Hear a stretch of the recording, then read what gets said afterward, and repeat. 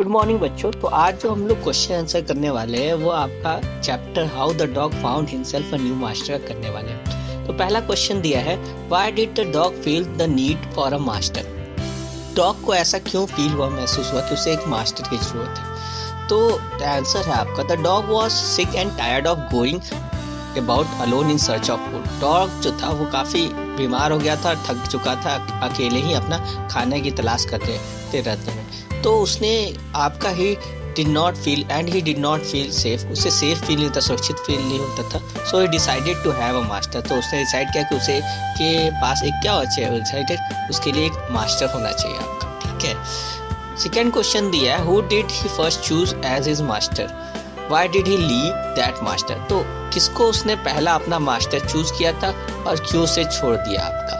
The dog first choose a wolf as a master dog ने पहले जो था, वो आपका मास्टर वुल्फ को मतलब भेड़िए को चूज़ किया था। But he found the wolf afraid of a bear लेकिन बाद में उसे पता चला कि वुल्फ जो है, वो डरता था आपका क्या भालू से। So he left the company of the wolf तो इसीलिए वह वुल्फ का साथ क्या कर दिया? छोड़ दिया आपका। आठ क्वेश्चन है who did he choose next उसने उसके बाद किसे चूज़ किया? तो next the dog choose a bear as his master बाद में डॉग ने बियर को, भालू को अपना नया मास्टर चूज़ किया। क्योंकि because he was stronger than the wolf क्योंकि वह वुल्फ से, भेड़िया से ज़्यादा स्ट्रॉन्ग था। चौथा क्वेश्चन है, आपका why did he serve the lion for a long time उसने लायन को ज़्यादा समय तक सर्व किया गया सेवा क्यों की?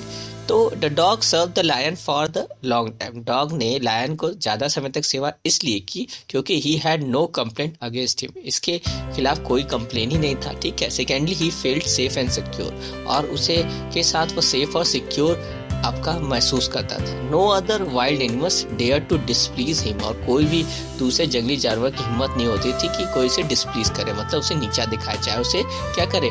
उसको उस पर हमला करे, कोई भी नहीं कर पाता था उसके फिफ्थ क्वेश्चन है आपका।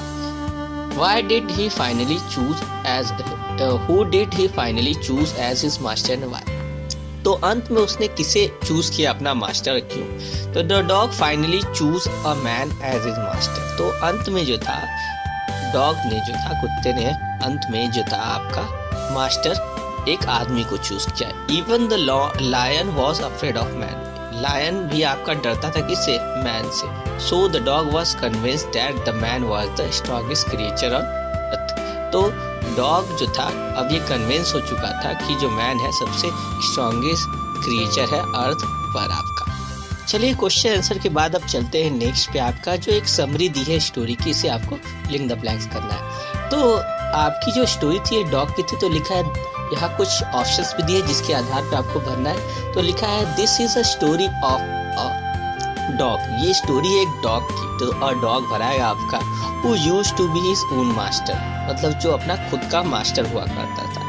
He decided to find a master stronger than animals as और उसने डिसाइड किया कि वो एक स्ट्रॉन्गर मास्टर ढूंढेगा किसी से सबसे ज़्यादा जो स्ट्रॉन्ग हो आपका। फ़र्स्ट ही फाउंड पहले वो किसे पाया तो? वुल्फ को उसमें से भरेंगे a wolf but the wolf अब वुल्फ क्या होता? है अफ्रेड किससे करता था? Was afraid of the bear जो वुल्फ था, वो डरता था किससे? बियर से आपका डरता था। Dog thought the bear was the strongest of all फिर डॉग ने सोचा कि बियर से स्ट्रॉन्गेस्ट कौन हो सकता है सबसे ज़्यादा? स्ट्रॉन्गेस्ट सबसे बियर आपका। आफ्टर सम टाइम लेकिन कुछ समय बाद डॉग मीट डॉग किससे मिला आपका? अ लायन से। लायन से मिला who seem to he who seem the strongest जो दिखता था काफ़ी ज़्यादा क्या स्ट्रॉन्गेस्ट तो लायन आपका भराएगा क्या? स्ट्रॉन्गेस्ट सबसे था। He stay with the lion for long time और लायन के साथ बहुत लंबे समय तक। लेकिन one day he realise that lion was lion आपका किससे डरता था? तो अफ्रेड ऑफ़ मैन तो यहाँ अफ्रेड ऑफ़ मैन भराएगा टू दिस डे और इस दिन के बाद the lion the dog remain man best friend और यही इसी टाइम से आपका डॉग जो था मैन का सबसे अच्छा क्या बन जाता है? फ्रेंड बन जाता है आपका। अब वर्किंग विथ लैंग्वेज करते हैं। यहाँ पे आपको जो है भरना है आपको सिचुएटेबल फॉर्म में एक आपका कलेक्टिव नाउन भरना जब कोई चीज़ कलेक्शन में होती तो क्या बनती तो डैश ऑफ़ सिप सिप का क्या होता है? तो फ़्लाइट आपका फ्लिट होता है। तो फ्लिट भर लीजिएगा आपका। अगला है आपका a dash of flower flower के झुंड को क्या कहते हैं? तो आपका ए बंच ऑफ़ फ्लावर कहते हैं। अब चिक्स मतलब मुर्गियों के झुंड को ब्रॉड रूट ऑफ़ चिक्स कहते हैं। अब कैटल के झुंड को अ हर्ड ऑफ़ कैटल कहते हैं। और स्टिक के आपके क्या बंडल को क्या कहते हैं बंडल ऑफ़ स्टिक कहते हैं। और शिप के झुंड को अ फॉल्क ऑफ़ शिप कहते हैं आपका। और फ़ीस के झुंड को हम लोग कहते हैं आपका स्कूल ऑफ़ फ़ीस कहते हैं। और वुल्फ्स के वीडियो के झुंड को अ पैक ऑफ़ वुल्फ्स कहते हैं। अब इसमें जो है आपका नाउन जो दिया हुआ है आपको एन ई डबल एस लगा के आई टी वाई लगा के, या टी वाई लगा के आपको क्या बनाना है इसको? वो बनाना है। तो ऑनेस्ट का ऑनेस्टी हो जाएगा काइंड का काइंडनेस हो जाएगा आपका, यहाँ क्रूएल का क्रूएलनेस हो जाएगा, आपका क्लेम का क्लेमनेस हो जाएगा सैड का सैडनेस हो जाएगा एक्टिव का एक्टिवनेस हो जाएगा क्रिएटिव का क्रिएटिविटी हो जाएगा आपका सिंसियर का सिंसियरली हो जाएगा आपका चेयरफुल का चेयरफुलनेस हो जाएगा और बाइटर का बाइटरनेस हो जाएगा, और सेंसिटिव का सेंसिटिविटी हो जाएगा आपका ग्रेट का ग्रेटनेस हो जाएगा आपका। तो ये सारी चीज़ें आपके, क्या इसमें फिलअप होंगे आपके? अब चलते हैं आगे। आगे जो है आपका, देखते हैं आगे क्या भरना आपका। तो आगे यहाँ पे कुछ दिया है आपका, जो पहले से मैंने भर के रखा हुआ है आपका, ठीक है? तो फैमिली ट्री बना है आपका यहाँ पे। तो दिया है कार्निवोरस एनिमल्स तो ये जो फिगर एक सील का है। ये आपका रैकून का है, ये आपका हाइनास का है, ये डॉग का ये सारे आपका कार्निवोरस के कैटेगरी में आते हैं, क्योंकि ये मांस खाते हैं आपके। दूसरा ये फिगर एक पांडा का है। ये फिगर एक बियर का है।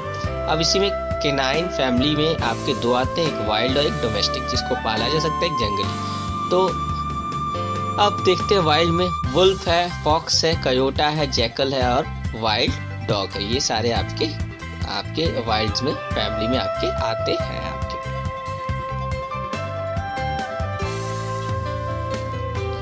तो चलिए इसके साथ खत्म होता है आपका पूरा एक्सरसाइज मैंने करा दिया, जो भी बुक में दिया था। तो आज के लिए इतना है। Good bye